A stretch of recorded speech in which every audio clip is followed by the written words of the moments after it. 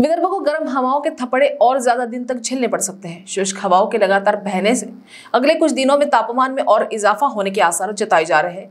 ऊपर राजधानी में बुधवार को इसी गर्मी का सबसे ज़्यादा तापमान चौवालीस दशमलव आठ डिग्री सेल्सियस दर्ज किया गया। विदर्भ में सबसे गर्म ब्रह्मपुरी पैंतालीस दशमलव एक और दूसरे नंबर पर वर्धा में पैंतालीस डिग्री तापमान दर्ज किया गया। इससे पहले नागपुर क्षेत्रीय मौसम केंद्र ने 27 अप्रैल से एक मई तक लू की चेतावनी दी थी लेकिन बुधवार को मौसम में आए बदलाव को देखते हुए अब इस चेतावनी की अवधि को बढ़ाया जा सकता है।